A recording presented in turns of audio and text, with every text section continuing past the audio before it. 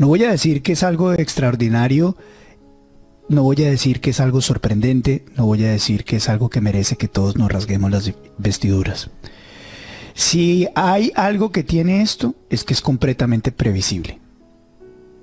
El país sabía qué iba a pasar con la elección de Gustavo Petro y todos sabíamos para dónde íbamos. Hubo sí un grupo de personas que salen a la luz pública y se destacan más por sus modelos camaleónicos, en los cuales tratan de demostrarse un día de un partido y del otro, pero que realmente son mercaderes de poder. Y esos personajes mercaderes de poder que no merecen en este momento más minutos de visibilidad, porque lo único que hace es darles representatividad política, fueron los que finalmente hicieron que esto pasara. Y siguen vivitos y coleando, y con vida política. Usted, señor, señora, tiene que castigarlos. Por el país, por su vida, por sus hijos, por los nuestros, tiene que castigarlos. Porque ellos no solamente son responsables de este capítulo, sino de muchos anteriores que han llevado a que estemos acá. Número dos. Este evento que estamos viviendo hoy, señor, señora, no se deje confundir, por favor. No es un evento político. Aquí, detrás de esto, no hay nada político. Nadie político, a diferencia del proceso 8000, está empujando este caso de Nicolás Petro contra su padre. Son ellos mismos. Son las personas que han estado en el centro de la campaña política de Gustavo Petro, en el corazón de la administración de Gustavo Petro, quienes son los que están haciendo las denuncias que están haciendo. Armando Benedetti dio unos chats denunciando todo lo que denunciaba y él hacía parte de la campaña. Nicolás Petro y Dai Vázquez hacen una feria de chats y de comunicaciones revelando lo que estaba pasando en campaña. Los petrovideos que conocimos antes de la campaña fueron revelados por personas que estaban dentro de la misma. Aquí no hay nada político. Es meramente judicial. Así que cuando usted escuche afuera, en las calles, a personas tratando de lanzar juegos pirotécnicos diciendo que esto es manipulado y maniatado por los medios de comunicación o los políticos, no se deje engañar. Está claro, esta es una cuestión judicial y no política. Es el presidente Gustavo Petro y su grupo más cercano los que se tienen que defender frente a la Administración de Justicia.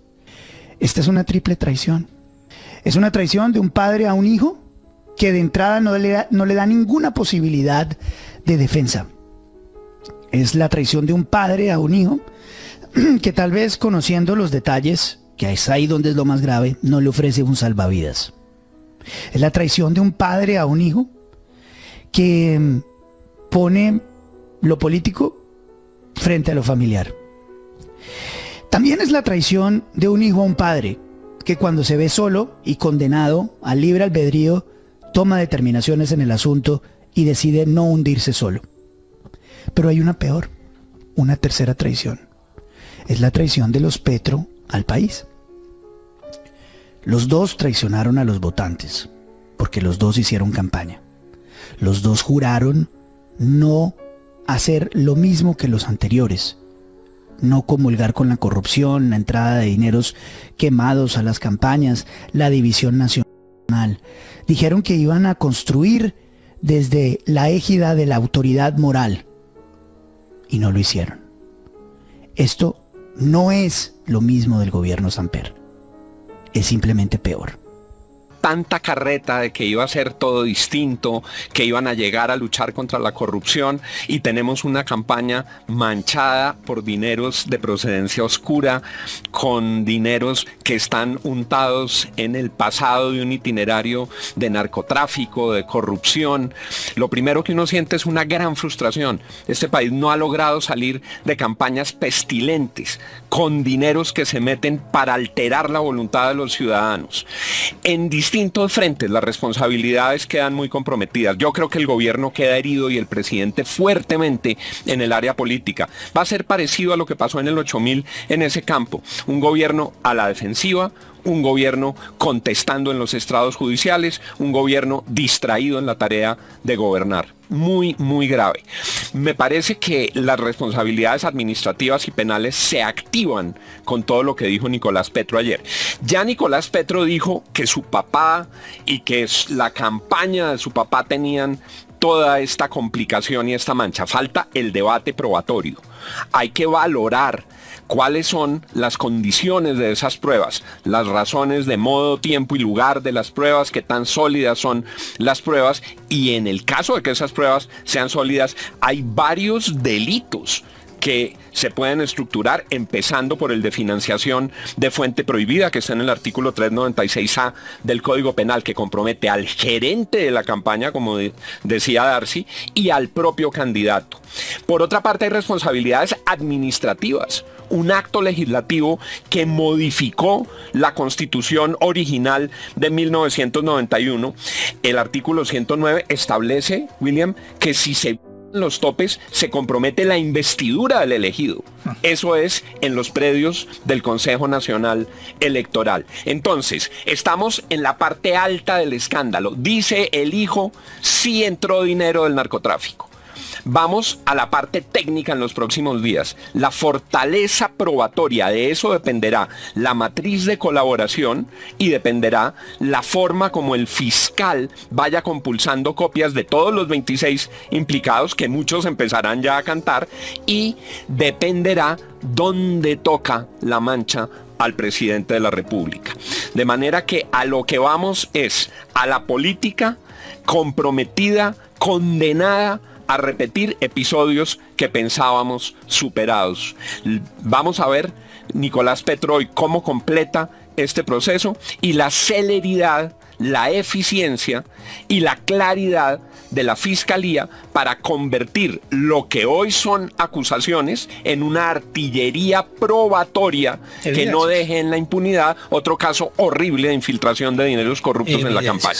En el pasado proceso 8000 de Ernesto Samper Pizano, él decía, eh, Fernando Botero miente, Santiago Medina miente, y al final eran personas que no tenían ninguna relación directa con él, habían estado en una campaña y sí, la gente pensaba podían estar mintiendo por, para salvarse, para buscar sus propios intereses, pero en este caso es su hijo la, digamos, una de las personas que fue más cercanas a él durante la campaña, es que lo veíamos en las correrías. Acuérdese cuando le cargaba la sombrilla detrás para que no le cayera el sol o el corazoncito en campaña, exactamente, el corazoncito. Esto me parece mucho más grave porque sí me parece muy difícil de refutar y de decir que un hijo está mintiendo.